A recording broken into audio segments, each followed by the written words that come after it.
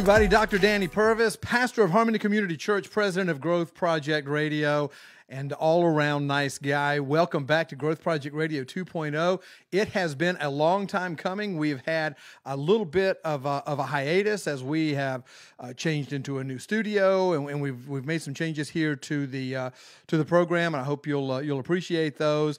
Um, we have Savvy back with us though. Savvy P, my uh, videographer. Um, uh, what else? What else do you do? You're uh, engineer? Yes. Producer? Yeah. She says sure. Yeah. You glad to be back doing Growth Project Radio? She says absolutely she is, even though she's shaking her head no. Uh, how how was your weekend, Savvy? It was good. It was a good weekend. Yeah, it was kind of exciting getting ready to come back here and get started here once again uh, at Growth Project Radio. And our goal here at Growth Project has always been the same, and that is uh, to uh, view the world through the prism of God's Word. And I, I don't know, I, am sure most people, obviously, most people know what a prism is. But one of the things that I really like about it is that it, it takes uh, you know it takes light and then breaks it down into its basic elements, and that's a lot of the way that I see God's word is it'll take the stuff that we see out there in the world and and sort of you know it, it goes through the prism and we're able to actually to see the details of it a lot more clearly than we would otherwise. Uh, one of my favorite um, uh, quotes by anybody ever in, in the world uh, was uh, one by C.S. Lewis, who says, I believe Christianity as I believe the sun when it rises, not only because I see it, but because by it I see everything else. And, and I have always been in awe of that statement. And that's exactly what Christianity does for me. Not only has it redeemed me and, and God has forgiven me, and he has justified me and he has paid for my sin, all of that cool stuff. But he's also given me a way to be able to see the world in the way that he intended for us to see it. So we are going to tackle all kind of subjects here on Growth Project Radio. This will not be a 2.0. We will not be um, we will not be locked into one specific thing. There will be times we will do kind of what we've done before in the past with um, going through books of the Bible, that's always something that we're going to do because we're obviously going to go back into God's Word. Everything that we're going to do here is is as, as best as we possibly can is going to be rooted in God's Word. So it it um, we we are really really looking forward to uh, to getting that started again and getting back um, getting back involved uh, with that kind of stuff and and. Uh, uh, like I said, we we've had some we have had some changes uh, since the last time you guys have joined us, and um, you know, probably one of the one of the the biggest changes is is our change of location. So we're here. Before we were, I was living in in Winter Haven, Florida, and we were traveling up here to St. Cloud to do the show. Now we actually live here in St. Cloud uh, to make it a little closer to the church where we're where uh, I'm pastoring and where we're where we're going. Um, but um, we're going to try to. I think last time we we kind of struggled to keep the keep the show to its sixty minutes, and uh, our goal this year, uh, as we start back, is actually going to be to keep it to thirty minutes. We like it to keep it shorter and keep it more focused. This is an introductory episode, obviously, so we're we're not going to uh, we're going to adhere to the thirty minutes, but we're not going to go into anything in any depth here uh, as I, I, share with you a little bit about where we're going and and uh, and where we want to be. But as I've mentioned earlier. And, and I hope that's one of the things that has been clear in everything that we've done here at Growth Project is, is the driving desire to help believers see the world the way God intends us for to see the world, to see Him the way He intends for us to, to see Him. Um, in 21st century America, in, in, especially among evangelical Christians or, or, Christians, whatever terminology you want to use that you think applies to you, there there is has been this one thing that I have noticed over the past several decades, and that is that theologically we have, and you've heard me use this term before, and you will hear me continue to use it a lot.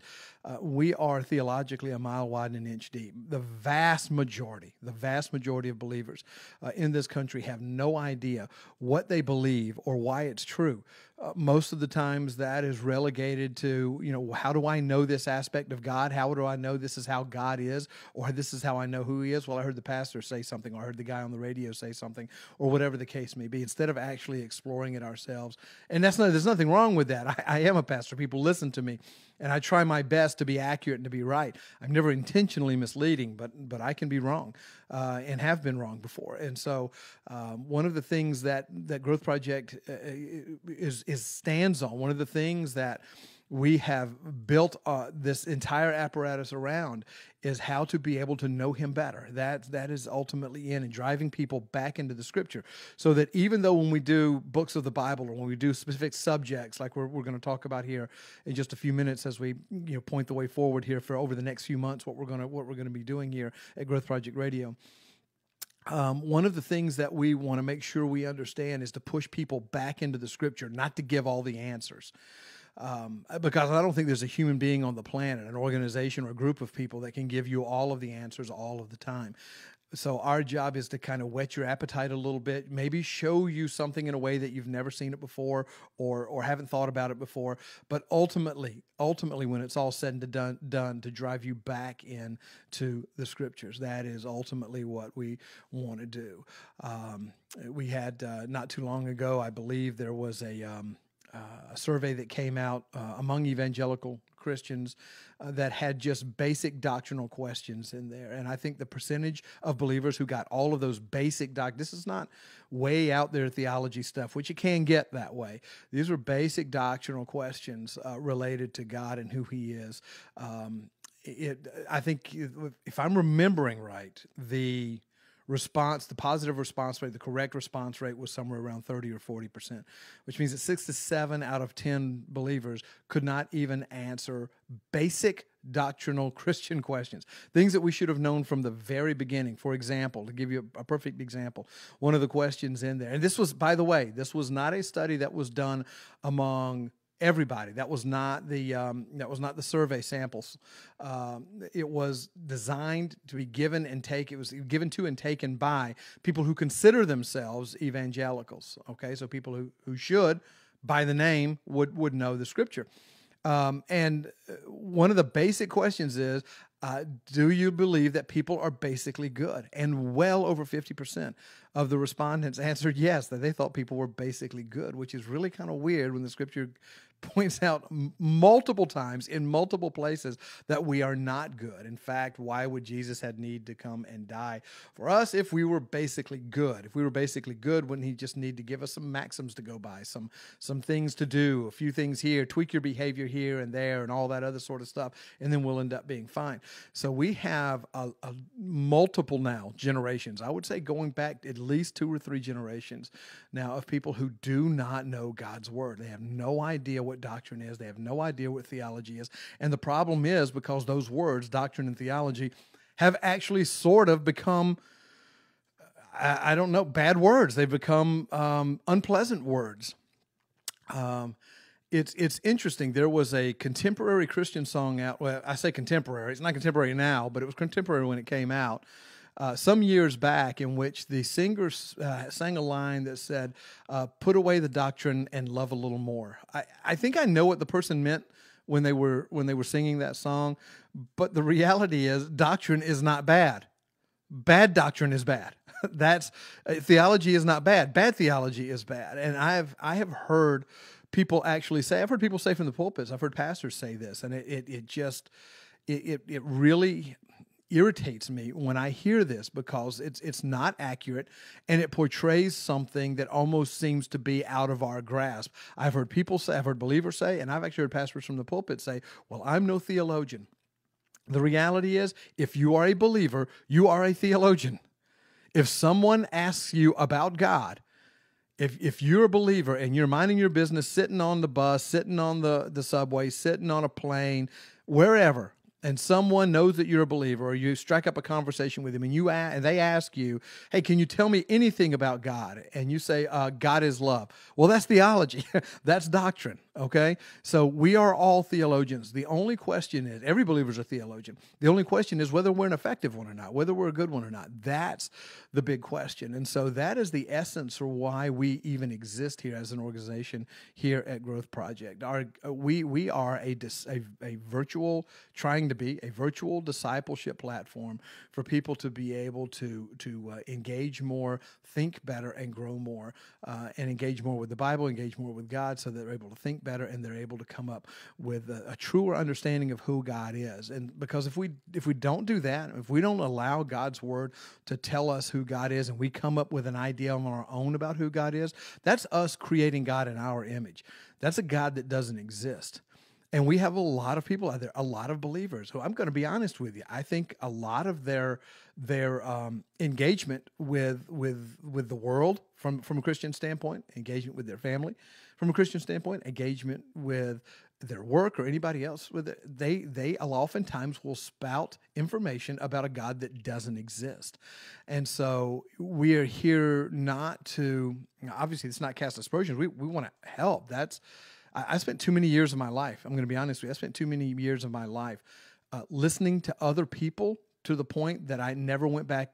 I, I rarely went back and actually engaged God's word to find out if the things that people were telling me about Him were actually true. That is uh, that's on me, by the way. I can get frustrated all I want to if somebody gave me some bad teaching down the road years ago, which we've all sat under bad teaching at one point or another, or heard it in some way, shape, or form. Uh, maybe maybe believed it and maybe spouted it, maybe talked to other people about it, only to find out that that wasn't exactly right. We can get frustrated at the person who told us that, and rightfully so. But ultimately, I think we need to look in the mirror and we need to say, okay, I should have gone back into God's word and validated what that person was saying. Even when I stand up at Harmony Community Church, when I stand up and preach uh, on Sunday morning mornings, you will hear me say something on a regular basis, and that something is this uh, Don't take my word for any of this. Don't take my word for it. Go back into the scripture. And if you find some place where I am wrong, where I misspoke, where I said something that wasn't right in representing God, please tell me. You are doing me a favor if you tell me. And so one of the things that we're trying to do is clear that up, and that's why we had the the, the name uh, Growth Project in the first place, and that is the idea to develop multiple different platforms under this same umbrella for us to be able to grow as believers and to be able to be driven back into God's Word, develop our theology, be serious about our theology, and to go forward from there. So what are we going to do from this point forward? As i said it will not be we will we will do series like i said some books of the bible. We'll do current event stuff. I really like talking about about that kind of stuff how we should be able to look at it through a christian lens through the prism of god's word in order to be able to see it in the way that he wants us to. Um, so I, I we're going to do a lot of that stuff and they're not going to be any sacred cows here. So you know folks are probably going to get a little ticked off from time to time and that's okay. Uh, I, I know know when I was when I was growing and still am continuing to grow in my faith. But when I was a young believer and and I was being taught certain things and and then I came to found out that maybe maybe they weren't exactly like they were being portrayed. I, my initial response was to withdraw from that. I don't want to hear that. I don't want to talk about that. That's a construct or an aspect of theology that I I am not comfortable with. I will tell you, growth in anything is uncomfortable. it is. It can sometimes be very painful because you're taking things that you've held as gospel, oh, with a small g in this sense, you've held as gospel for so many years of your life, and then someone's trying to show you that maybe that thing that you've held in that in that particular perspective is not exactly right. Uh, it's our initial knee jerk reaction is to uh, is to reject that and to be frustrated with it. Uh, so that, that'll probably be the case, but that's okay. I think any type of growth can can uh, can lead to some some painful events, and it's it's not our intention to do that. By the way, I'm not going to be looking at you know something out there that I can do just to tweak people. That's not why I'm here. I don't really care about that kind of stuff. Uh, but sometimes there's inadvertent tweaking, isn't that right, Savvy? Yes, she's inadvertently tweaked right now as I'm trying to ask her questions as she's trying to do her job. So if there's some inadvertent tweaking going on, then that's okay. There's nothing. Uh, there's nothing wrong with that. Uh, it can, as I say, be sometimes a very, very, uh, a very painful process as we come to have those things that we've held so dearly uh, into what we believe, and then we find out that maybe they're not exactly as we thought they were. So. We'll be engaging in all kinds of things. Uh, interviews. I'm going to find some folks that uh, that I think uh, I think have something to add to what we're talking about here. So I'd like to do some interviews. Um, we'll talk about all. There's really it's going to be a potpourri. All of it's going to be focused on though. How are we supposed to view this thing, whatever the thing is we talk about? How are we supposed to view this? While viewing it through the lens of God's word. That is the ultimate goal is to be able to look at it through God's word, not to look at it through our secular minds, not to look at it through our hearts and try to reason and think with our hearts, which is we have way too much of that going on uh, today anyway. So we're not going to do that. Uh, but how is it that we are supposed to look at this thing, this event, this this um, uh, uh I don't know uh, whether it's a social justice thing or whether it is a, some sort of current of news event, some political event, some whatever the case, a popular culture thing. It doesn't matter. We're, we're going to tackle all of those things as it comes along. But here is actually what we're going to do first. And this is something I'm really, really excited about.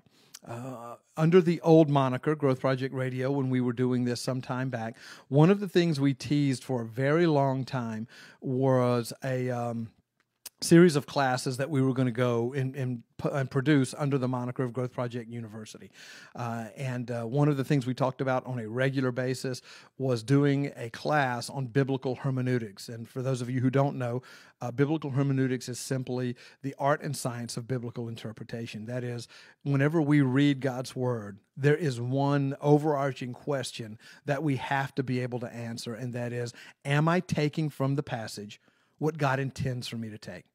Am I really and truly understanding is is it saying what it seems to be saying or am I making it say something or somebody else if I've listened to them and they're teaching about it are they making me see something in the way that it's not supposed to be seen. So, in other words, the like I said, the overall question that we have to ask, every single believer has to ask, is: Am I taking away from the Scripture what God intends? And so, hermeneutics is just a way of being it's it's a $25 theological term doesn't matter you know whether you want to use it or not use it.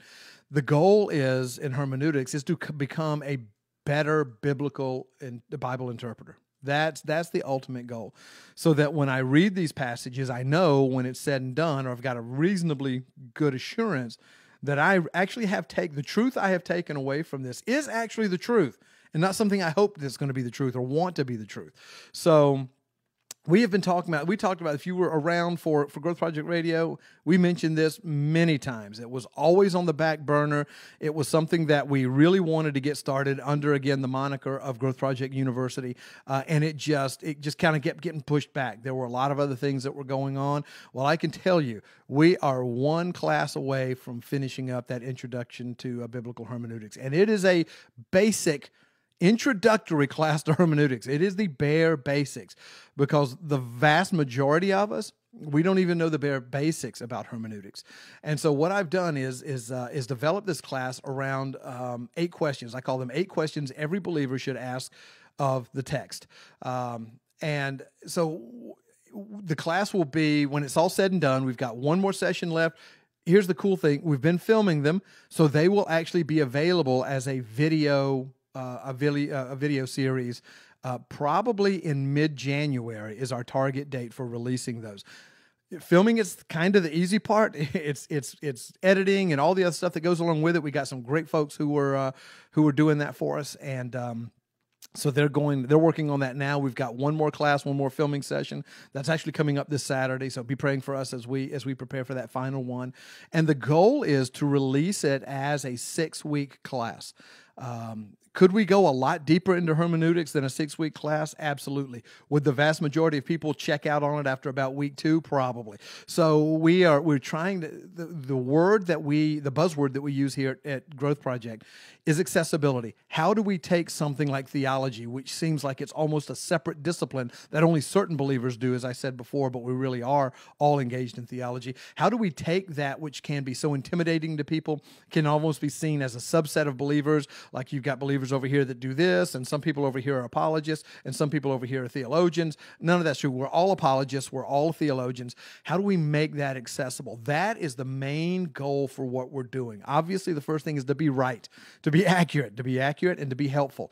But how do we make this accessible? How do we take some constructs, subjects, ideas that are actually taught in seminaries at graduate level course in graduate level courses and then get them to where the average person could just go on there and and look at it and understand it and follow along. I think we've actually strike. Uh, I, I, think we've gotten a pretty good balance about this. I really do.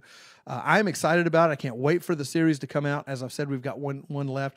Um, but what I did want to do, and this will probably take us up to the point. Um, if I'm counting my if I'm counting my uh, weeks right, it'll take us up pretty close to the point where the class will be released technically this first class is going to be released as a beta session. I, we're making it available to certain people and certain groups of people who will go through it as the six week class so then we can get feedback from them about the deliveries how it works um, what works, what doesn't work, what they liked, what they didn't like, uh, how things uh, uh, worked uh, um, and worked well, and and more importantly, from my standpoint, how they didn't work well. Um, so as we're as we're doing this, the release of this class, this initial session is going to be, like I said, sort of a beta test. If you're interested, by the way, in uh, in taking part in that, that's easy. You just let us know, and and we'll be glad to uh, give you access and include you in that, and, and let you go through the class uh, class as well. But one of the things that has uh, I've been so excited about this is when you look at these eight questions that every believer that I believe every believer should ask of the text. When you look at these questions, they will actually generate other questions and, and, uh, good, logical, straightforward questions that we should be asking the text every single time that we go through it. So, in order to kind of whet your appetite a little bit, get you ready for this class that's coming up in January, I thought what we'd do is we would take a look at some passages. This will probably take us the next eight or nine weeks. So, we're gonna like we're gonna try to we're gonna try to end this right about the time the class is being launched. We're going to take the next eight or nine weeks and we're actually going to look at passages from a hermeneutical standpoint, utilizing some of those eight questions. Now, all of these eight questions, as you will see if you go through the class, if you get the material, should be asked of every passage, but sometimes some of them are obvious and you just move on quickly to, to another one.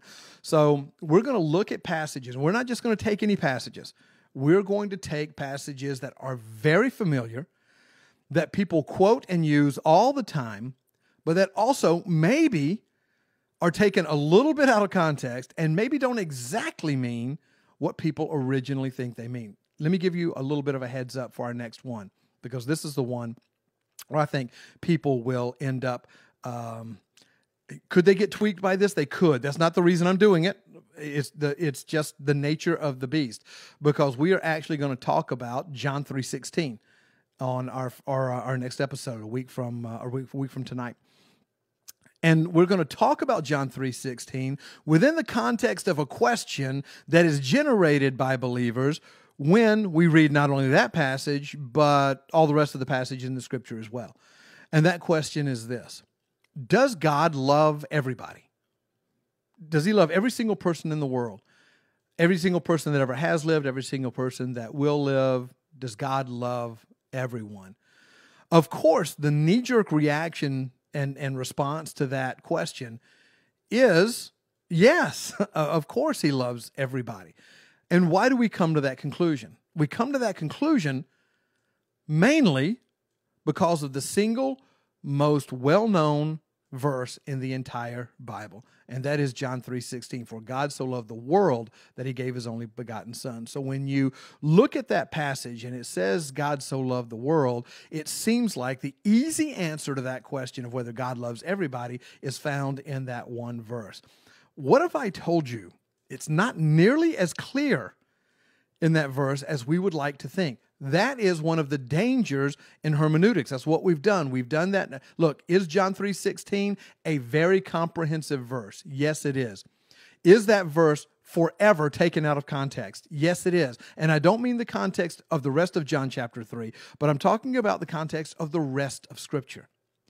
Any time we take God's a, a single passage, especially a single passage, out of context, there is a really good chance, a better than 90% chance, in my view, that we're going to end up at least misunderstanding part of that verse. There is something about that verse that we are going to miss if we take it out of context. And so next week, we are going to start this series off by tackling John 3:16 and we are going to answer the question, does God love everyone? Which seems to be, as I said before, one of the simplest questions we could possibly ask in Christianity.